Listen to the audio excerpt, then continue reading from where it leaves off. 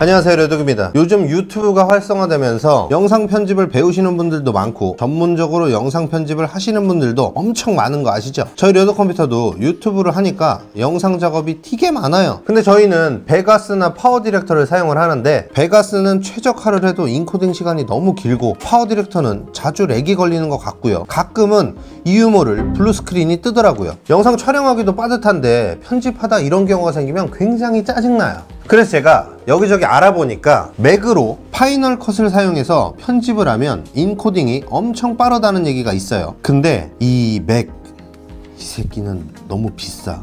왜 이렇게 비싼 건지 모르겠지만 엄청 비싸요. 맥 쓰시는 분들의 불만도 대부분 이 비싼 가격이더라고요. 모니터가 좋은 거라고 하는데 어쨌든 비싸다는 거죠 어차피 저같이 이런 안경쟁이들은 뭐 5K, 8K 이딴 거 다 필요 없어요. 어차피 막눈인데 뭐 좋으면 뭐해요? 그냥 화면 나오면 그거는 된 거죠. 안 그래요?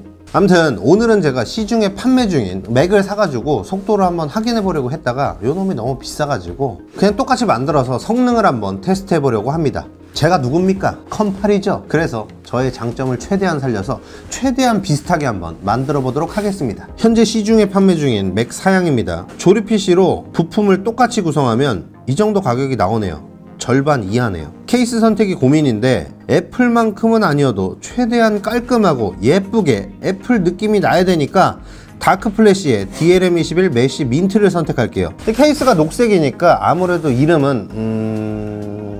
쑥맥으로 하겠습니다. 뭐 대충 이렇게 한번 만들어 봤습니다. 어떤가요? 맥 느낌이 살짝이라도 나나요? 이제 소프트웨어가 문제인데 구글에 찾아보니까 없는 게 없더만요. 그냥 잘 맞는 부품으로 견적내서 조립하고 소프트웨어 최적화만 잘하면 되는 거더라고요. 대부분 프로그램들도 잘 돌아가고 옛날보다는 오류도 적은 편이라고 하더라고요. 일단은 가장 중요한 인코딩 시간을 한번 비교해 봐야겠어요. 베가스 대 해킨의 인코딩 속도 비교입니다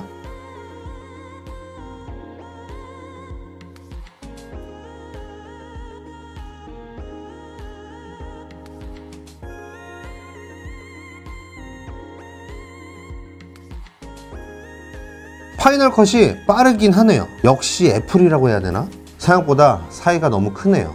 이 정도면 그냥 애플 사가지고 파이널 컷으로다가 편집을 해야 되나? 이런 생각이 들 정도예요. 시중에 판매 중인 맥이랑 저희가 테스트용으로 만든 요 쑥맥이랑 성능을 비교했을 때 과연 동일한 성능이 나올까 굉장히 궁금한데요. 어이 거기 누구 맥 가지고 있으면 하나만 주라. 일주일 정도 쓰고 돌려주는 건 괜찮잖아 여튼간에 오늘은 맥이 좋다고 해서 테스트용으로 한번 만들어 봤고요. 앞으로도 오늘처럼 비교해보는 영상을 많이 많이 만들 테니까요. 궁금하시면 구독과 좋아요 알림 설정 부탁드리고요. 다음 영상에서 다시 만나요. 안녕